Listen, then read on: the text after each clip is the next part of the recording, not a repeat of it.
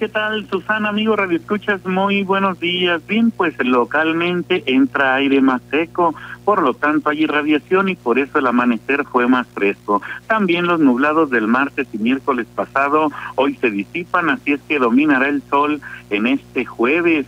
Mañana eh, viernes 22 de mayo es Día Mundial del Agua. La ONU invita a reflexionar eh, eh, con el tema de agua para la paz. Ya se comentará. Eh, en asuntos atmosféricos nacionales no se observan frentes fríos, solo el jet subtropical en los estados del norte, propiciando tardes ventosas en las tierras madre occidental y oriental, estados del altiplano, zona huasteca, bajío y altos de Jalisco. Un centro de baja presión en Texas asociado a una zona frontal estará generando lluvias en Nuevo León y Tamaulipas con potenciales tornados en la zona fronteriza con el estado de Texas.